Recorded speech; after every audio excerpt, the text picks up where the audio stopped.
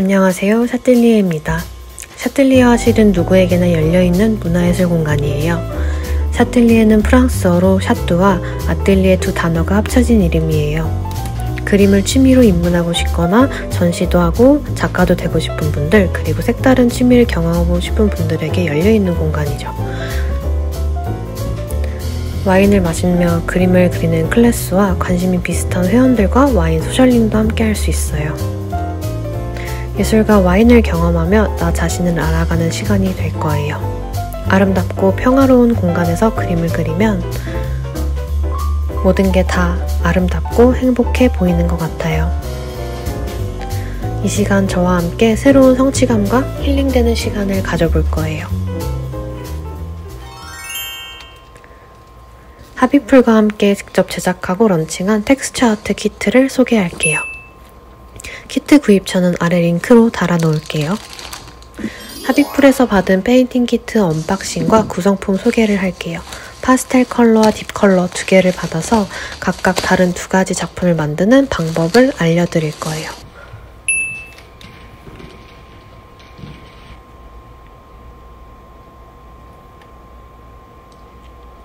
별도 준비물은 물통이랑 물입니다. 먼저 캔버스를 뜯어서 세팅해 둘 거예요. 뒤에 있는 나무는 캔버스 뒤쪽 보서리에 끼워주세요. 나무 조각은 천을 튼튼하게 지지하고 당겨주는 역할을 해요. 틈이 벌어져 있으면 나무 조각이 잘 빠져서 고정이 안 돼요. 나무 조각 끼우는 건 해도 되고 안 해도 상관없어요. 캔버스를 바닥에 먼저 두고 보조제와 헤라, 톱니, 흑손을 준비해주세요. 보조제 뚜껑을 열어서 헤라로 보조제를 캔버스에 덜어줄 거예요.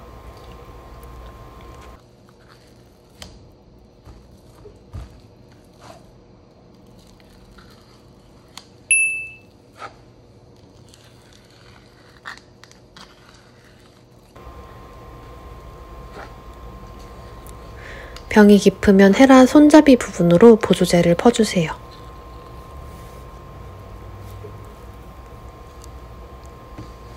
이제 캔버스에 보조제를 균일하게 펴줄 거예요. 처음에는 정말 꾸덕한데 계속 헤라로 밀어주면 조금씩 부드러워져요. 보조제는 금방 마르기 때문에 10분 내외로 보조제 작업을 완성할 거예요. 보조제 뚜껑 닫는 것도 잊지 마세요. 밀가루 반죽하듯이 헤라로 중심 부분부터 외곽까지 보조제를 밀어주세요. 가로 세로 가로 세로 펼치면서 최대한 균일하게 펴야 돼요.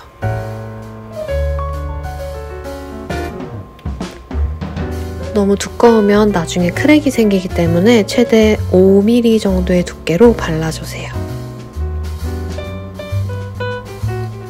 톱니 흑손 등장합니다. 두 번째로 좁은 톱니를 사용할 거예요.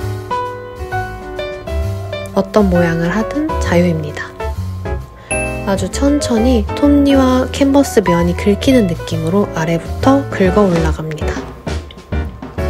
아래 면이 캔버스에 다 닿으면서 돌려줄 거예요.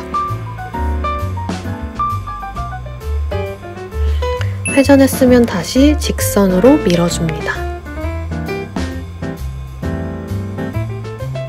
남은 물감은 옆에 얹혀두거나 보조제 통에 다시 넣어두세요.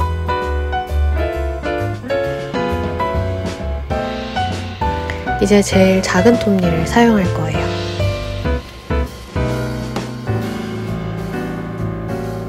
위에 2cm 정도 남기고 밀어줍니다.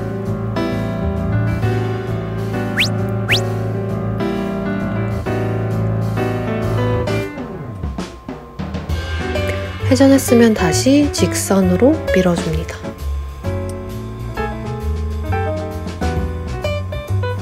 남은 물감은 보조제 통에 다시 넣어주세요.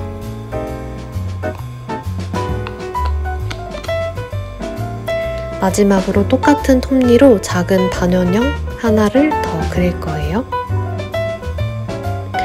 폭은 검지손가락 길이 정도로 직선으로 쭉 밀어줍니다. 다시 이전과 같은 방법으로 중심점은 가만히 회전해줍니다. 이제 하루 정도 자연 건조하거나 드라이기로 20분 정도 건조시킬 거예요.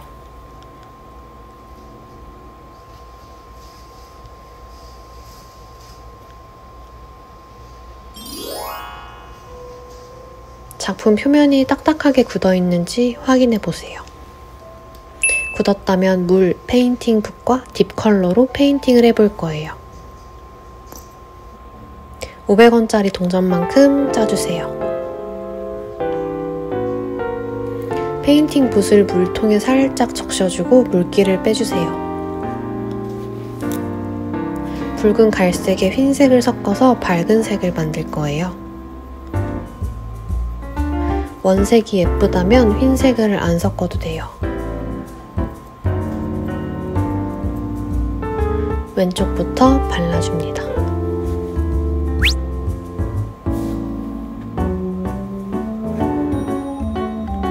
울퉁불퉁해서 발리지 않는 곳이 있으니 꼼꼼하게 채워주세요.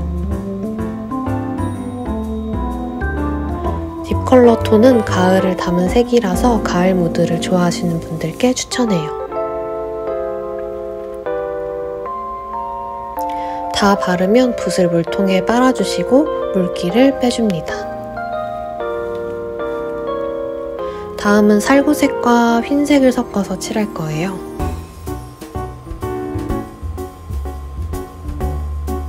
이번에도 원색이 예쁘다면 흰색을 안 섞어도 돼요.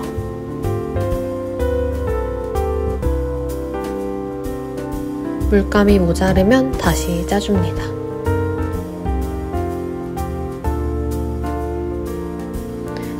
아크릴 물감은 마르면 색이 선명해지거나 진해질 수 있어요. 파스텔 톤 색감을 좋아하면 흰색을 아주 많이 섞어서 칠하면 돼요.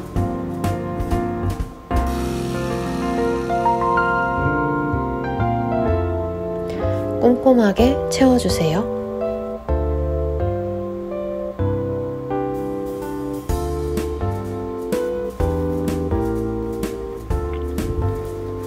경계 부분은 천천히 칠해줍니다.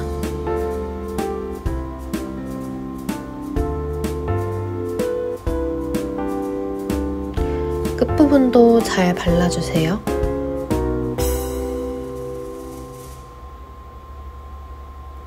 다음은 초록색을 칠할 거예요.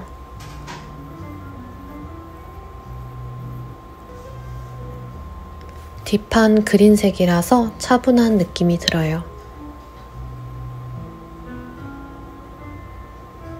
빈티지한 느낌을 좋아하시는 분들께도 추천드리는 컬러들이에요.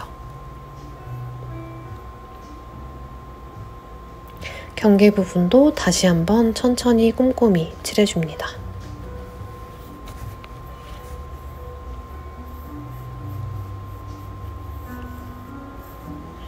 칠하면서 머리와 마음을 비우게 되는 것 같아요.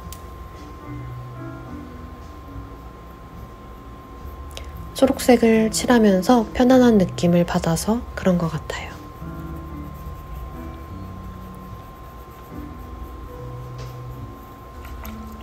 다시 한번 붓을 헹궈주고 마무리를 할 거예요. 사이사이 안 칠해진 부분들을 다시 한번 칠해주면서 정리를 해줍니다.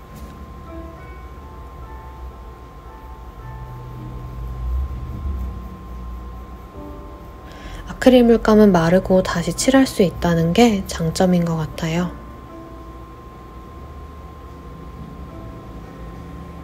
틀려도 마르고 나서 다시 칠할 수 있으니까 초보자분들에게 추천드리는 재료예요.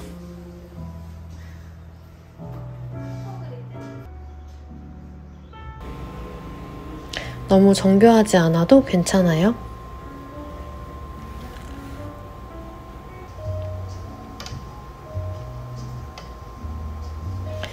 텍스처만으로도 멋스러운 작품이 될 거거든요.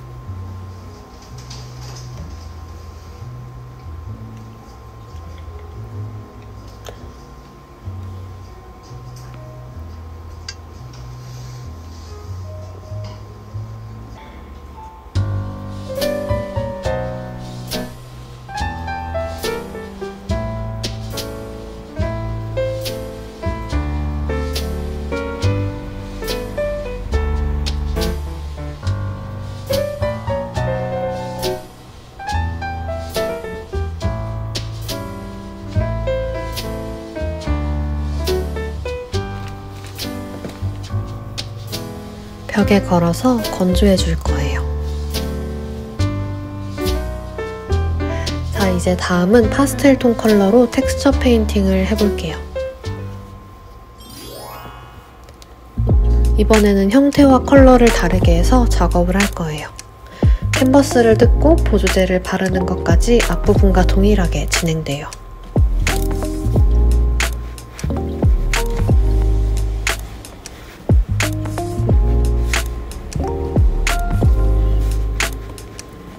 보조제를 가로 세로 균일하게 펴주는 것까지 해주세요.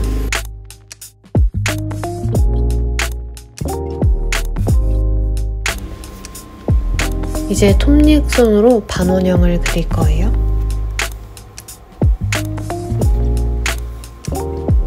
두 번째로 큰 톱니로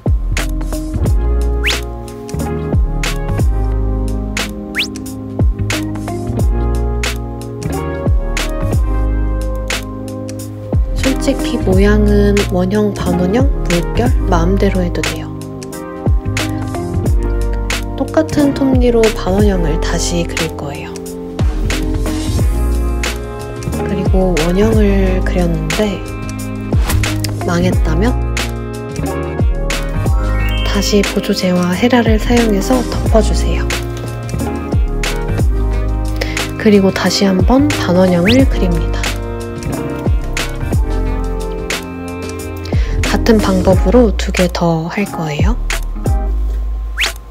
곡선이 너무 어려우면 직선이나 물결로 대체해도 괜찮아요. 미술엔 정답이 없거든요.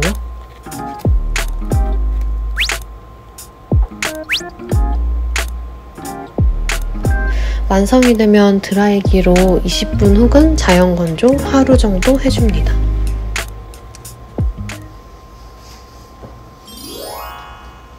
이제 세색할 시간. 건조된 작품이랑 물감, 붓, 물통, 파레트를 준비해 주세요.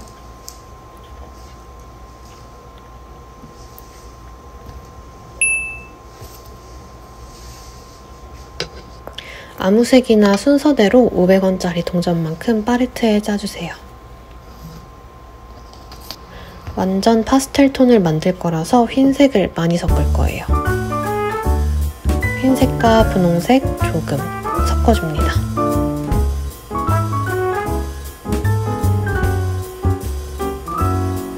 너무 건조해서 붓질이 뻑뻑하다면 물을 살짝 발라주세요. 그럼 부드럽게 잘 발려요. 색을 바꾸기 위해서 붓을 한번 빨아줍니다. 흰색은 금방 사용하니까 한 번 더 짜주세요. 하늘색이랑 섞어서 밝은 하늘색을 만들 거예요. 원하는 곳에 칠해줍니다.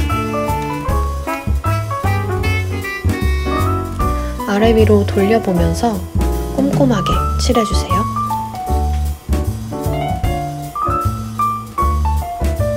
칠했으면 붓을 한번 빨아주세요. 흰색이 많이 쓰이죠? 한 번 더 짤 거예요. 연두색 같은 노란색과 흰색을 실깃실깃 섞어줍니다. 이번엔 사이사이를 채워줄 거예요. 붓을 옆으로 사용해서 가볍게 한 줄씩 칠해나갑니다. 만약에 작은 붓이 있다면 작은 붓을 사용하는 게 좋지만 작은 붓이 없다면 페인팅 붓에 최대한 옆날로 칠해주세요. 칠하다가 사이사이로 삐져나온다면 그냥 전체를 덮어주는 것도 좋아요. 붓에 너무 물이 많으면 번질 수도 있으니까 물기는 빼주는 게 좋아요. 작은 원형에도 똑같이 하거나 전체를 한번 칠해주세요. 저는 똑같이 한 줄 한 줄 칠해줬어요. 마무리는 안 칠해진 부분만 다시 칠해줄 거예요.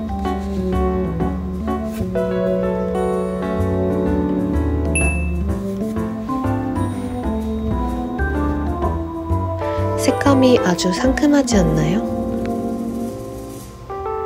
따뜻한 봄, 여름 분위기를 좋아하시는 분들께 추천드려요. 기분 전환이나 집들이 선물, 내 방 인테리어 그림으로 그리기 좋은 것 같아요. 이렇게 꾸덕한 질감의 인테리어 그림을 함께 그려봤는데요. 패턴과 색감에 따라 정말 다양한 무드가 연출될 수 있어서 좋은 것 같아요. 재료가 남는다면 캔버스만 따로 구매해서 다양한 패턴과 색감으로 개성 있는 작품을 완성할 수 있을 것 같아요. 그럼 모두 힐링되었길 바라면서 시청해주신 모든 분들 감사드립니다.